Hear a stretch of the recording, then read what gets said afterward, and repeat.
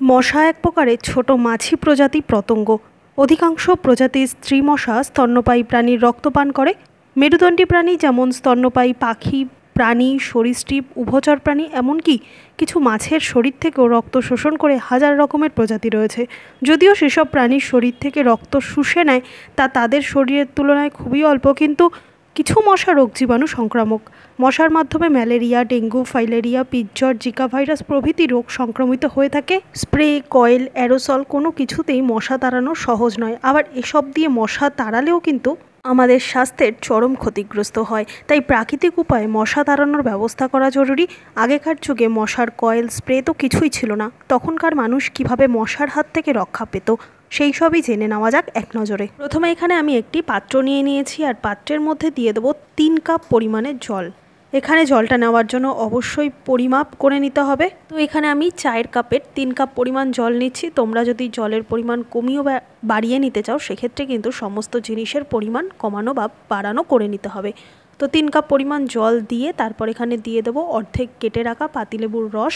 পাতিলেবুর রসটা ভালো মতো চিপে দিয়ে এর যে খোসাটা রয়েছে, এই খোসাটাও কিন্তু ফেলে দেবো না, এর মধ্যে দিয়ে দেবো। এরপর দিয়ে দেবো এক চামচ পরিমাণ চিনি। চিনি কিন্তু মশাদের প্রচুর পরিমাণে আকৃষ্ট করে। দিয়ে দেবো এক চামচ পরিমাণ চা পাতা। আমরা প্রত্যেক দিন চা খাওয়ার জন্য যে চা পাতা ব্যবহার করি, সেই চা পাতাই এখানে ব্যবহার করেছি। এরপর সমস্ত কিছু ভালো মতো মিশিয়ে দেবো আর এর মধ্যে দিয়ে দেবো দু চারটে লবঙ্গ। লবঙ্গর মাথায় অবশ্যই ওই ফুলগুলো থাকতে হবে, সেটা দেখেই লবঙ্গটা দিতে হবে। দিয়ে দিচ্ছি তিন চারটে তেজপাতা ছোট ছোট টুকরো করে কেটে রাখা।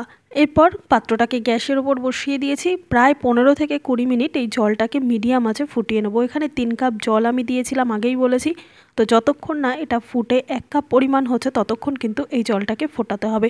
তো দেখতে পাচ্ছ বেশ কিছুটা সময় কিন্তু ফুটে গেছে আর জলের কালারটাও কিন্তু চেঞ্জ হয়ে গেছে। জলটা কিন্তু আগের তুলনায় অনেকটাই কমে এসেছে। এই অবস্থায় জলটাকে আমি ঠান্ডা হতে দেবো গ্যাসটা বন্ধ করে। ফিফটি পার্সেন্ট ঠান্ডা হয়ে গেলে এরপর একটা ছাকনির সাহায্যে এই সমস্ত জলটাকে ছেঁকে নেব আর আপাতা লেবুর মিশ্রণের যে ছাকনির মধ্যে রয়েছে সেটা কিন্তু আমরা ফেলে দেবো না।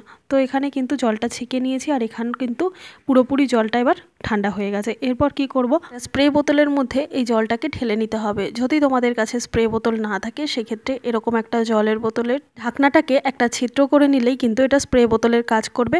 তো এখানে দেখো আমি কিন্তু জলটা স্প্রে বোতলের মধ্যে ভরে নিয়েছি। এরপর কি করব? যেই যেই জায়গায় প্রচুর পরিমাণে ঘরে মশা দেখতে পাওয়া যায়, ঠিক সেই রকম জায়গাতে কিন্তু এটাকে স্প্রে করতে হবে। দেয়াল থেকে শুরু করে ঘরের কোনা কানাছি আসবাবপত্রের নিচে, এমনকি টয়লেটেও কিন্তু বর্ষাকালে প্রচুর ছোট ছোট মশা দেখতে পাওয়া যায়, আর সেই মশাগুলো কামড় দিলে কিন্তু আমাদের রোগের শেষ থাকে না। তাই যে কোনো ঘরের জায়গাতে যদি আমরা এই স্প্রেটা করে দিতে পারি, তাহলে কিন্তু মশার উৎপাত অনেকটাই কমবে। এমনকি বাগান এরিয়া বা আমাদের ব্যালকনিতে বা জালনায় যে ছোট ছোট টবগুলো আমরা গাছের জন্য লাগাই, সেই টবের নিচেও কিন্তু বেশ কিছুটা জল জমতে দেখা যায়। তো সেই রকম জল জমা জায়গাতেও কিন্তু আমরা এই স্প্রেটা করব। এমনকি প্রত্যেকটা ফ্রিজের পেছনে একটা করে বাস্কেট থাকে যেখানে কিন্তু আউটলেট জলটা এসে জমা হয়। তো সেখানেও কিন্তু আমরা এই স্প্রেটা যদি করে দিই, তাহলে কিন্তু সেখানে আর মশার ডিম পারতে পারবে না। এমনকি ঘর মোছার জলেও কিন্তু আমরা এই স্প্রেটা ব্যবহার করতে পারব। তো এইভাবে যদি আমরা ঘরোয়া উপায়ে বেশ কিছুটা মশা কমিয়ে দিতে পারি, তাহলে কিন্তু আমাদের অনেকটাই সুবিধা হবে। আরও একটা পদ্ধতিতে মশা তাড়ানো সম্ভব, তো তার জন্য এখানে নিয়ে নিয়েছি বেশ খানিকটা তুলো। আর যে চা পাতা বা লেবুর যে মিশ্রণটা ছেঁকে রেখেছিলাম, সেখান থেকে বেশ কিছুটা চা পাতা আমি এর মধ্যে দিয়ে দেবো। প্রায় এক চামচ পরিমাণ চা পাতা এখানে আমি দিলাম। এরপর এর মধ্যে দিয়ে দেবো খুব সামান্য পরিমাণ গুঁড়ো করে রেখে দেওয়া কর্পূর আর দিয়ে দেবো দুটো জেমস লজেন্স। আমাদের ঘরে কিন্তু নানান ধরনের চকলেট বা লজেন্স থেকেই থাকে। তো এক্ষেত্রে জেমসটা ব্যবহার করার কারণ হচ্ছে, অনেকক্ষণ পর্যন্ত জেমসটা শক্ত অবস্থায় থাকবে, চট করে গলে যাবে না। চিনি বা অন্যান্য ক্যাডবেরি কিন্তু খুব তাড়াতাড়ি গলে যায়। এরপর তুলোটাকে এইভাবে মুড়িয়ে দিয়ে বেশ কিছুটা সর্ষের তেলে তুলোটাকে ভিজিয়ে দেবো।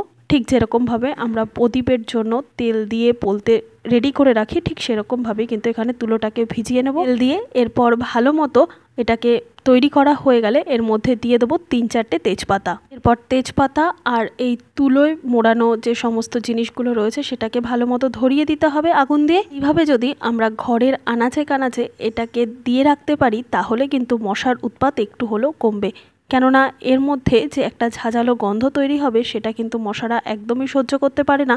আর এটা যতক্ষণ আগুনটা জ্বলবে, ততক্ষণও আমরা ঘরের এদিক ওদিক কোনা কানাচিতে রাখতে পারব। আর যখন নিভে যাবে, তখনও কিন্তু দেখতে পাচ্ছ বেশ খানিকটা ধোয়া উঠছে। তো সেই সময়ও কিন্তু আমরা ঘরের আনাচে কানাচে বাথরুমের সমস্ত জায়গাতে দিতে পারব। এমনকি এটা সম্পূর্ণ আগুনটা নিভে গেলে, ধোয়াটা বন্ধ হয়ে গেলেও কিন্তু এটাকে আমরা খাটের তলায় রেখে দিতে পারব। কেননা এর যে একটা গন্ধ সেই গন্ধেও কিন্তু আর মশা আমাদের বাড়ির ধারে কাছে আসবে না। মধ্যে মিষ্টি লজেন্স দেওয়ার একটাই কারণ, মশা কিন্তু যে কোনো ধরনের মিষ্টি জিনিস খেতে পছন্দ করে, সাধারণত গাছের মিষ্টি নির্যাস, ফুলের মধু এছাড়াও রক্ত খেয়ে বাঁচে। মানুষ যেরকম চকলেটের দোকান বা বেকারির মিষ্টির গন্ধে আকৃষ্ট হয়, তেমনি মশারাও চিনির গন্ধকে অপ্রতিরোধ্য বলে মনে করে। সব মশার বেঁচে থাকার জন্য নানান ধরনের মিষ্টি জিনিস কিন্তু প্রয়োজন। তো এর জন্য কি করতে হবে? এখানে একটা প্লেটের মধ্যে আমি বেশ কিছুটা জল নিয়ে নিয়েছি আর জলের ওপর এই ধরনের একটা বাটি মতো বসিয়ে দেবো।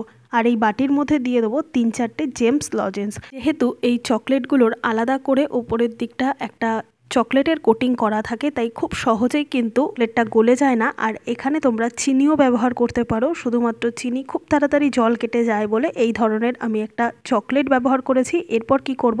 ঘরের নানান জায়গায় কোনা কানাচিতে যেখানে প্রচুর পরিমাণে মশার উৎপাত সেরকম জায়গায় এরকম এই প্লেটটা জলে ভর্তি করে তারপর বাটি দিয়ে বসিয়ে রাখব। এতে কি হবে? যদি কোনো পিঁপড়ে এই মিষ্টির গন্ধে আসে, তাহলে কিন্তু সে আর এই মিষ্টি জিনিসে মুখ দিতে পারবে না। তার কারণ হচ্ছে নিচে জল রয়েছে আর মশারা মিষ্টির গন্ধে এক জায়গায় জড়ো হতে শুরু করলে তখন যদি ওই স্প্রেটা আমরা করে দিতে পারি, তাহলে কিন্তু অনেক মশা আমরা একবারে মেরে ফেলতে পারব।